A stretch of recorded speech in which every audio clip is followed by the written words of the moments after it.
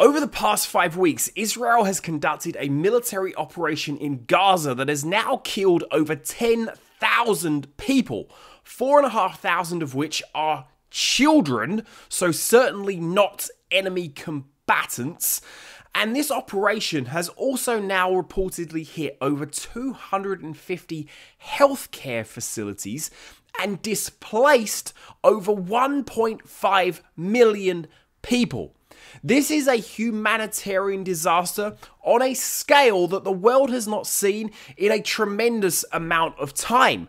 And unfortunately, we have Israeli officials with rhetoric over the past week that is far beyond explosive. Um, I mean, this these are statements that we're going to look at here, which are quite frankly unbelievable that anyone in government could actually say something like this, especially a government that claims to be a democracy. And over the past week, also. There's been a shift in the rhetoric of Israeli officials in media interviews that they have been giving um, across Western media outlets, and I've been watching these from a variety of different angles, where they have been trying to link this conflict that Israel is now involved in with World War II and saying that this is essentially Israel's World War II, that this is their good versus evil battle, and these black and white lines in what happened. They're trying to apply all of this to what's going on right now in the Middle East. And the question is then, well, does that really apply or does it not? But when you have government officials saying things like Netanyahu's Minister of Jerusalem Affairs and its Heritage Minister, so the minister in the Israeli government responsible for Jerusalem's heritage, said not only are there no non combatants in Gaza, meaning that everybody is a legitimate target, but that nuclear weapons are, quote, an option to be used. Now, the Western world is sitting back for the most part with a relatively hands off approach, politically speaking, that is refusing to condemn this, that is refusing to say that, you know what, a ceasefire might be required. A ceasefire might be the only thing that, es- that stops this from escalating into a regional, if not global, conflict. Something that I've warned about here repeatedly since covering these events.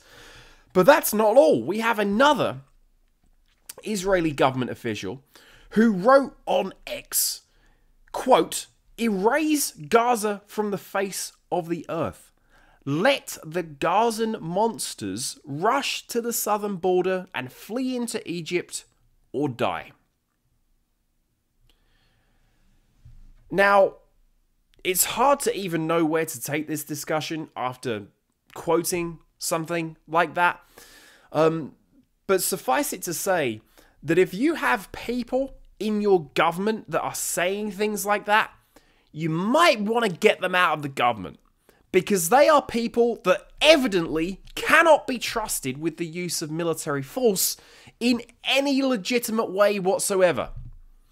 Now, Netanyahu did at least suspend this Jerusalem Affairs and Heritage Minister, but Netanyahu himself has been citing Bible verses to justify what Israel is currently doing in Israel. Now, I'm sorry for those of you out there that may be more religious than others, but when you're citing Bible verses to justify your foreign policy decisions, for me, that is when you have immediately disqualified yourself from any position in any legitimate government on the face of the earth. Now, Israel did suffer a terrorist attack. Israel did suffer a horrendous event that was brought upon it by Hamas. And I'm certainly not saying that Israel shouldn't defend itself. It should. And it should go after the people that were responsible for what happened. It should not collectively punish over 2 million people with a bombing campaign that is indiscriminately destroying entire cities and towns and villages and creating untold human suffering.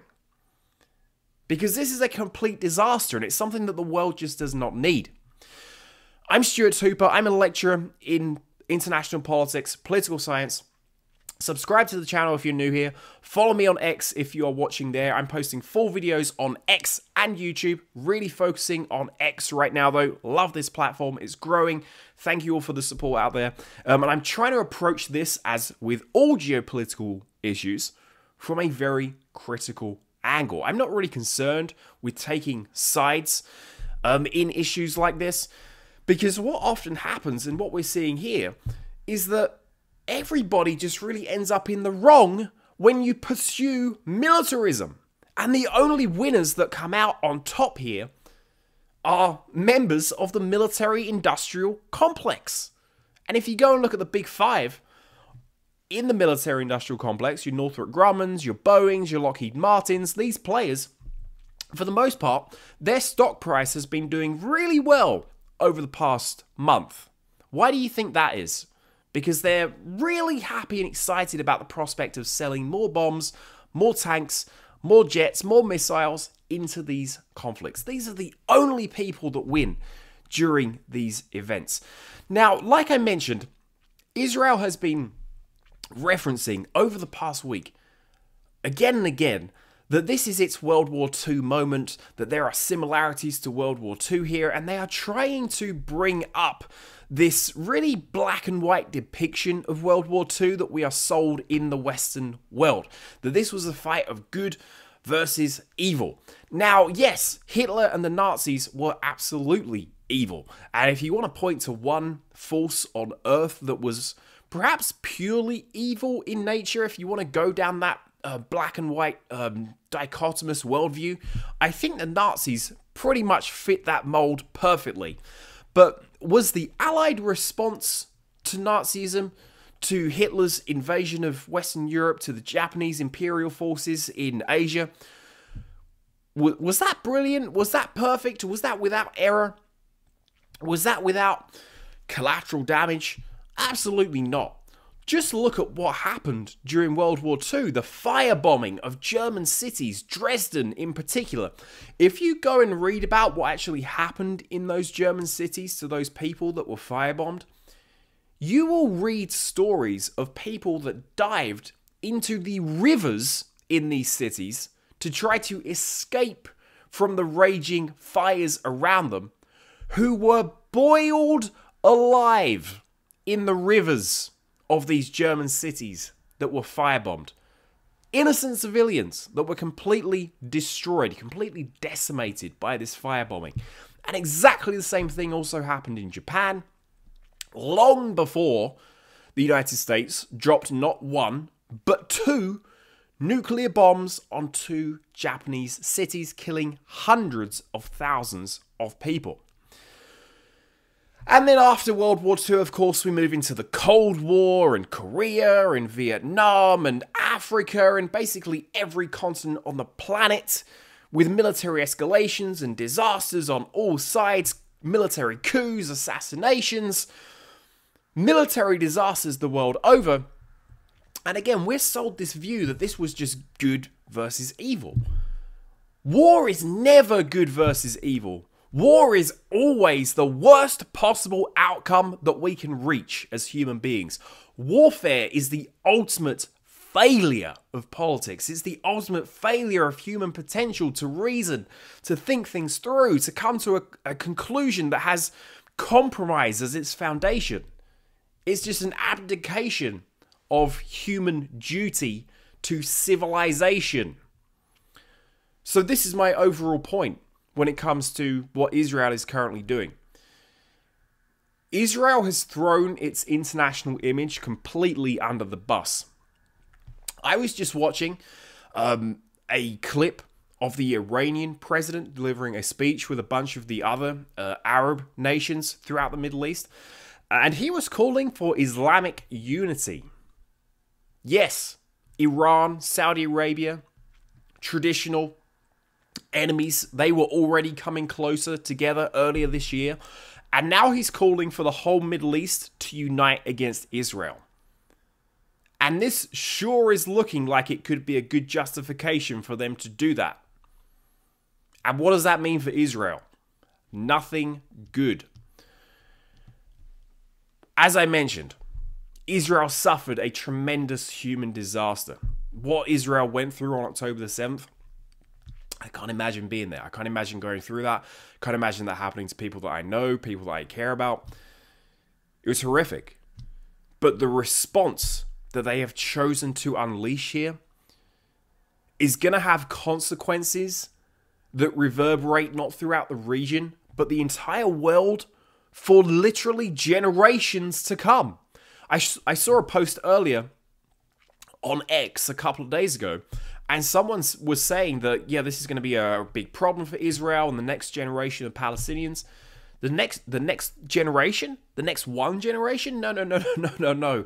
This is going to be a problem for Israel for 50, 60, 70, 100 years, perhaps the rest of Israel's existence.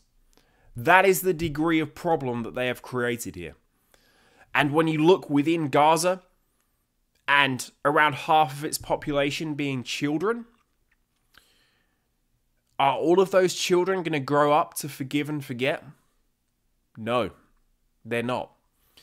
This is called blowback. This is what the uh, the State Department, the Western world, refuses to acknowledge that if you go around the world and start blowing people up and killing them, that they may want to come back and kill you too. Yes, it's not just radical ideologies that send people down a path of violence. It's not just poverty that send people into a path of violence. It can be blowback. It can be it can be you killed me, so I'm going to go and kill you. Israel is just opening the door to this unlike ever before with 2 million people. So we can hope that we don't end up going down that road, but unfortunately, I think at this point it's almost guaranteed. Thankfully, we had the French president, Emmanuel Macron, who in the aggregate I'm certainly no fan of. I'm not a, fan of any of these Western elites, these these Middle Eastern elites, the Iranian president, the French president. I'm not a fan of any of these people. Um, but at least Macron came out and said, Israel, it's time to stop killing women and children. And he specifically said, it's really hard to say you're fighting terrorists when most of the people that you're killing are civilians. And we see most people in the West, I think it's somewhere around 66, 68% of people in the United States want a ceasefire. There are Israelis that want a ceasefire, Israeli hostage families that want a ceasefire, um, which imagine being one of those people. Imagine your sister, your brother, your kids, your mother, your dad has been captured, taken hostage by Hamas in a horrific terrorist incident. They've been taken into Gaza, and how does your government respond? By practically carpet bombing the entire region. Yeah, you can see why those people are going to be pretty angry too. The Israeli government has opened a can of worms here that I'm not sure it really understands right now. And the consequences that these are going to unleash for decades and decades and decades to come. Please follow the page here if you are new. Please subscribe to the channel if you're watching on YouTube and you made it this way, uh, this far to the end. I'm putting out more regular videos now. Um, I used to do videos where I would show articles and things like that, but um, I really don't have time to do that. So this is almost perhaps descending, or perhaps you guys prefer this, um, into me ranting and raving for 10 15 minutes for an episode. Um, but I think that this is this is more useful. Um, I can get my raw thoughts out to the world like this, um, still taking that critical approach, but really allowing my views, my opinions to be a little bit freer than they were in my old format. Really appreciate the growth and support on X in particular. Um, you guys are great. Really appreciate the support. A big shout out to Jason Bermas and Hrvoje Morić over at Geopolitics and Empire. You two sharing my videos has done wonders. Um, I really appreciate it. Um, but yeah, we need to keep covering this from a critical angle, everyone. Um, we can't just sit back. We can't just say, well, these are good guys and these are bad guys. No. War is bad. Conflict is bad. Militarism is bad. And if we as a species really want to grow and do something great with ourselves, we need to start solving our problems in a dramatically different way. Thank you all for watching. I'll be back with more videos this week.